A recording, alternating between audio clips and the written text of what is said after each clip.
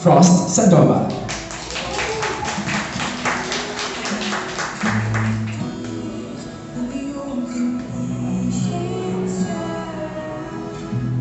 There we have Andre Iliana.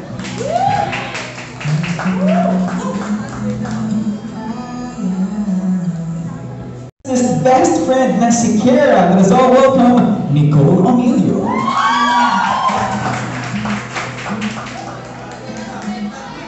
Very beautiful and white is Nicole Emilio. Ang sosyal sa barkada returning as Sam sa SSA. Ladies and gentlemen, Aubrey Caraan.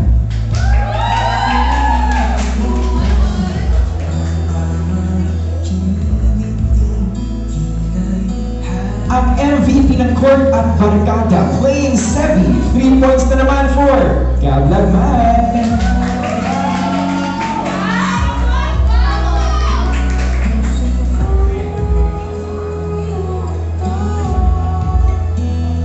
Nakilala natin siya bilang ate ng grupo, but unfortunately, she cannot join us today.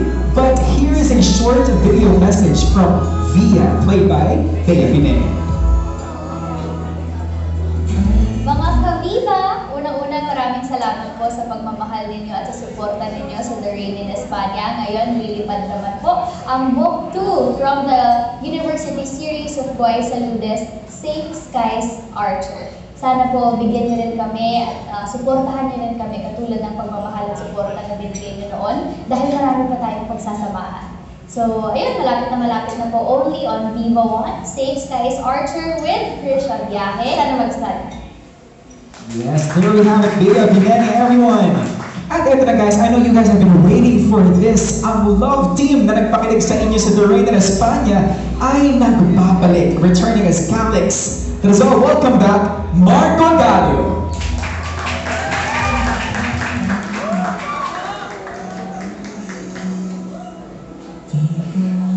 At syempre, nagbabalik rin as Luna and fresh from her success, wow, in winning Best Actress from the 39th Luna Awards. Let us all welcome Heaven Peralejo.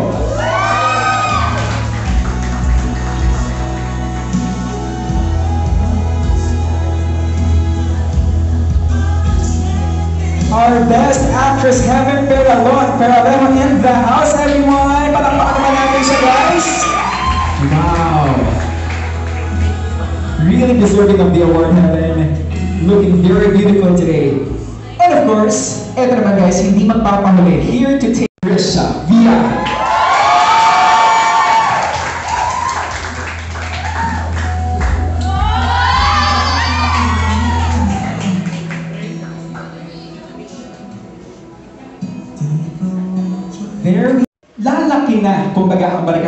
as we introduce the new cast and characters who will be part of the Univercada of Safe Skies Archer. Eyes on the screen. First, well, first is a young actress who is making her showbiz debut with Safe Skies Archer. She will play the character of an elegant young cheerleader na soon ay bibihag sa puso ng ating MVP na si, well, Sevi. Kasama niya isa sa mga young actor on the rise na nagsimula rin bilang child actor at gagampanan niya ang playboy na barkada ni Hero na magbabago sa buhay ng ating bestie na si Kara. Let us all welcome Hyacinth Calyano as Elise and Jairus Aquino as Sean.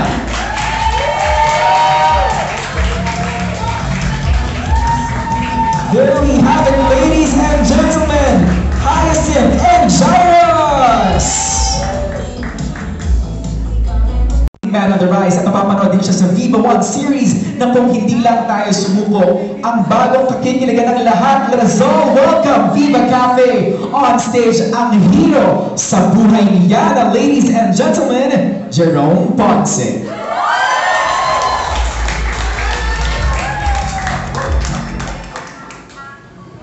Hello, Jerome Ponce, guys! Ang, bag ang bago magpapakilig sa buhay ni Yana. Ladies and gentlemen, palakpakan naman natin. So let's welcome the love team of Hero and Yana or Hia. Yun yung pangalan ng love team natin, guys. A round of applause again for Chris Villaje and Jerome Ponce. Jerome, Ah, so so excited. And it's a thick book. I couldn't put it down, but uh, to give you a short gist of the story, you know, it's a, it's uh, the story of uh, Yana, a um, no, Yana first. She is a um, uh, I can't say the school eh. I can't say the school, but uh, she is kami ng workshops ng Viva and so far, ah, hindi pa po kami ganun katagal magkakilala since ngayon lang po talaga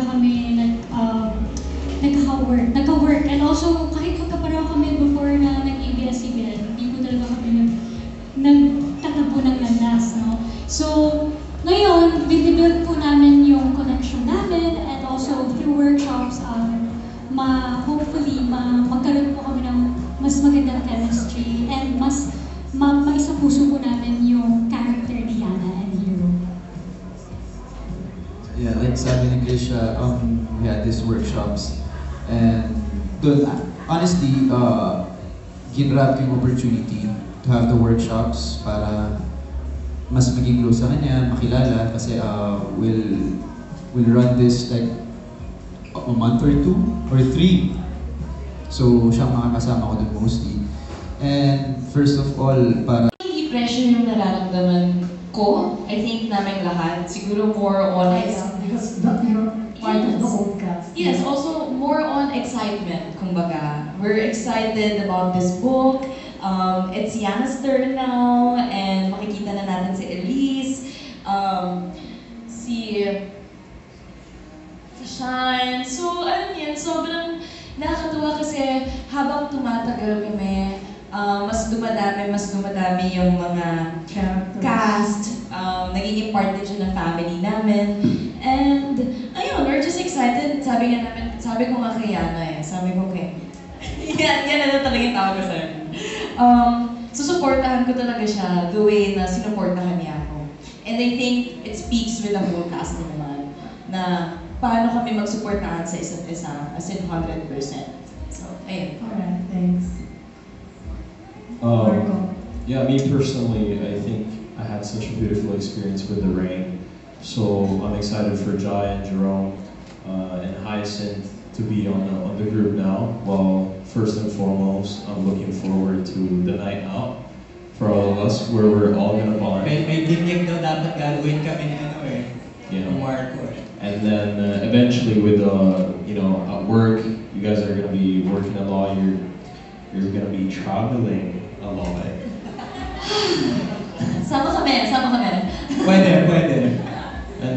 And I'm really excited for you guys. It's definitely going to be a, a couple of months of pure fun, hard work, and uh, something to remember forever. Really.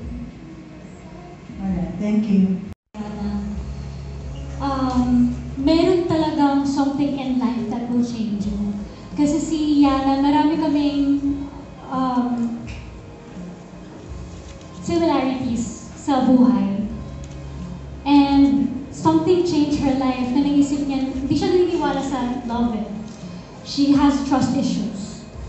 Dahil sa mga nangyari sa buhay niya. So, nangyari din sa akin yun. And then, someone will come in your life na magpapaniwala sa'yo ng true love. Right? Uy, kinikilig. So, yun. Um, so, yun yung na, na, na take away ko kaya na true love. There is true love. Yun po.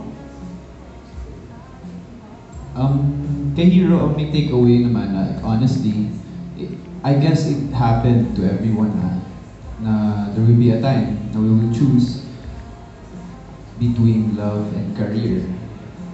So, kung ano man mauna, in the end, ang pipiliin pa rin naman natin is the love. So, that's my really takeaway in life and to Hero.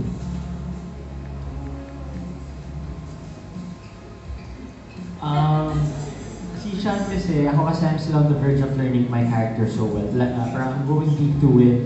Actually, si Nicole, uh, binigyan niya ako ng magandang idea on how to learn my character. We just read our book first, no? So, um, I'm actually reading our book right now and knowing Sean, sobrang grabe yung mga nangyari sa kanya, past trauma niya. Same goes with Yana, medyo hindi siya naniniwala sa idea ng love.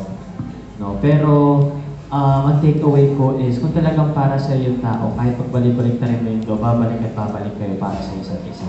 At ang kalaban ni Sean dito is time. Alam naman natin lahat yan. Pero, um, ah yun. So let's not waste time. Kapag may gusto tayong gawin, let's go for it. May gusto tayong sabihin, sabihin natin. Yun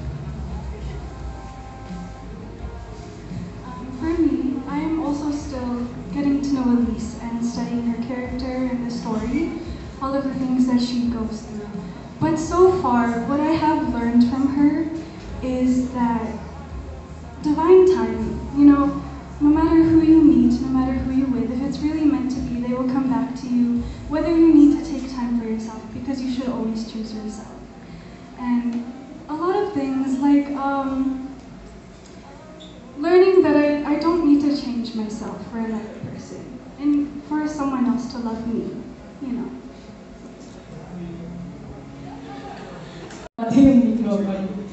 Um, I guess because we've answered this also in you know the other press cons and all that, but it's a lot different now. Now that there's an actual physical Sean, medyo mabigat siya for me. Ah, pero yun, uh, I can't um, say much, but I guess as Kiara is that um, you can still be happy um, despite uh, kung ano man yung if you choose happiness, things will still go, you know, on the right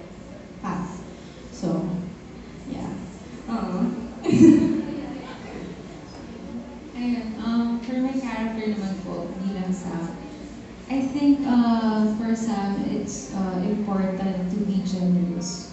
Kasi siya yung best, parang best girl, one call away friend. Um, generous hindi lang pagdating sa material things. Generous pagdating sa sa time, sa love, sa support na binibigay niya kay Yana, sa buong barkada, and of course, sa sa love interest niya dito. So. Ah, para sa akin po, for Sevi, siguro treat your best friends like your own family and always be there for them no matter what. Kasi di mo alam kung may mga malala silang problema or something, but it's just the little things being there for them that's just gonna be a big thing for them. I think my takeaway from Alex is that some people are worth the wait. Mapa, you know, mapa pitong taon yan, mapa sampung